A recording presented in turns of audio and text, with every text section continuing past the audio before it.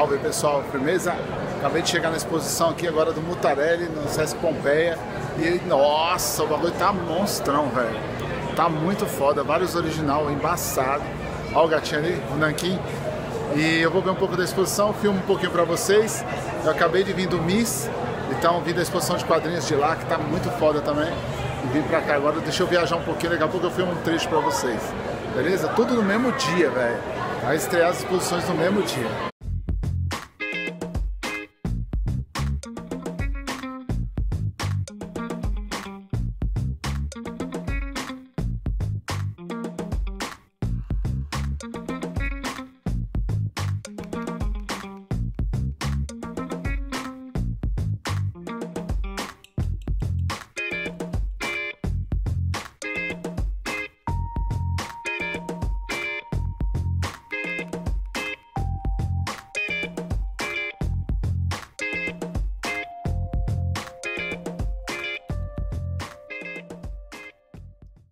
Super bonita a entrega deles, a nossa entrega.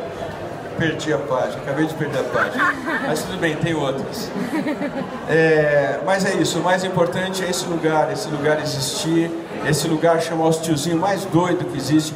Quando eu vim pra cá, eu não sei se o Guto Lacaz ainda tá aqui, que é um cara que eu amo. A Gigi, caramba, que fez o Diomedes e o Macaco. Eu brinco, é horrível isso. Eu falo que eu sou fã da Gigi desde que eu era criança. Mas é mentira, eu sou fã da Gigi desde muito tempo. Caralho, Marcelino Freire Ferrez, puta que pariu. É... Não, assim. Mas é que assim, é... se eu escrevo hoje é por causa daquele menino Ferrez ali, ó. O cheiro do ralo. Mas é isso. É isso, Ferrez. Eu li Capão Pecado e eu quis devolver um, alguma coisa para você, o cheiro do ralo é, eu quis devolver o, o, que você me deu com Capão Pecado. Quando eu fazia quadrinhos, que aí eu tenho muito problema com quadrinhos ali, naquela parte ali. Eu era um problema também, era um cara problemático, um cara fechado. Mas quando eu entrei na literatura, esse moço, Marcelino Freire, é o cara que me pegava no canto ali pela mão, me trazia. E é isso, as pessoas que mais me acolheram, são meus irmãos e Obrigado por estarem aqui. Obrigado mesmo. Obrigado mesmo. É, vocês é, mudaram a minha vida, mudaram a minha pessoa, tiraram uma coisa amarga que eu carregava. Vocês fizeram isso.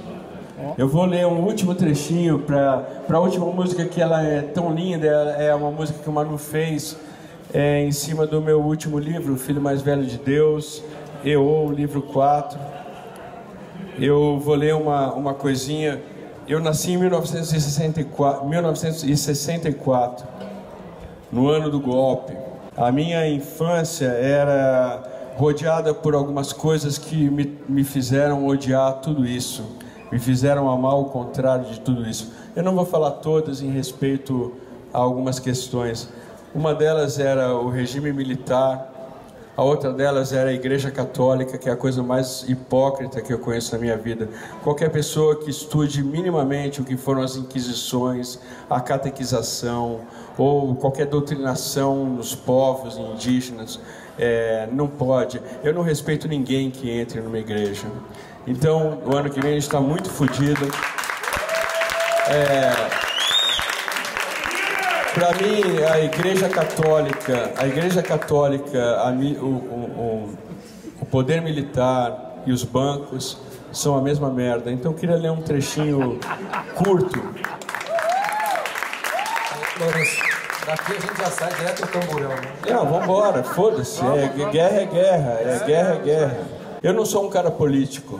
Eu não sou um cara político mas eu sou de Satã, é isso. Essa, essa é a minha exposição, eu sou do, do outro lado. Do criativo, né? da loucura criativa, do demônio criativo, do lado escuro que a gente precisa acessar para. É isso. É só olhar um pouquinho do que eu faço. Sabe, Oliver, o cara que ia ser nosso desenhista, o que tem? Ele faleceu. Sério, que merda. Venho, traz meu copo. Dou uma golada com gosto. Deixa eu ver o anel. Esse aqui, ó, o grifo de Abdera. Tá lá a moeda original que eu comprei em Antuérpia. Mundinho estica a mão, quase encosta na minha cara. Observa o velho grifo. Vende ele para mim. Que é isso?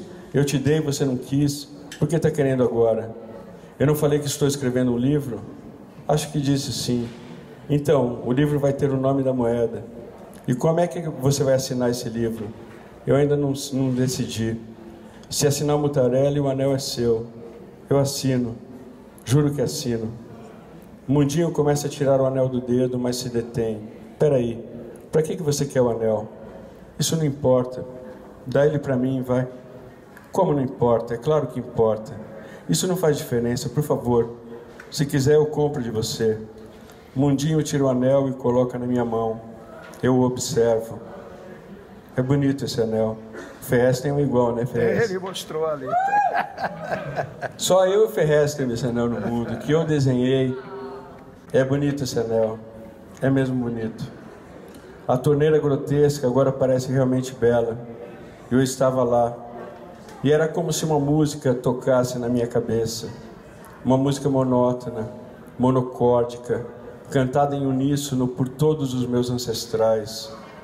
E meus olhos se encheram de lágrimas, porque eu larguei, larguei, os antidepressivos depois de 28 anos de uso contínuo. Eu tomei antidepressivo e tarja preta por 28 anos. Troquei pelo álcool fitoterápico, estou bem melhor agora. Mas se a gente precisar, tem que tomar. Quando precisa, tem que tomar.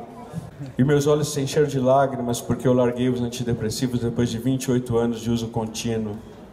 A vida é muito mais emocionante sem antidepressivo. Eu estava ferido, profundamente ferido. Estamos todos feridos. E eu esvaziei o meu copo, e Mundinho esvaziou o dele, e a Gildinha está ali. Obrigado por estar aqui. E o Fred, e tanta gente, não vai dar para falar todo mundo, senão eu não vou ler. Vamos lá. A vida é muito mais emocionante sem antidepressivos. E eu estava ferido, profundamente ferido. Estamos todos feridos. E eu esvaziei o meu copo, e Mundinho esvaziou dele. Então ele ergue o copo em direção ao bar e grita: Ô feinho, tá dormindo? Manda mais dois. E eu olho o ser cunhado na moeda. Esse grifo é o demônio, não é? Ou se é. Mas aí depende, né? Depende. É, depende de que lado você está, tá ligado? De que lado eu estou? É, depende para que Deus você reza. Para que Deus eu venho rezando? Não consigo parar de olhar para a besta em relevo que salta da moeda. Todo artista ora ao diabo. Eu vou repetir. Todo artista ora ao diabo. Amém. Que assim seja. Feinho traz nossos copos cheios. Beijo grifo de Abdera. Eu e Mundinho nos olhamos em silêncio. Trocamos um sorriso. Fim.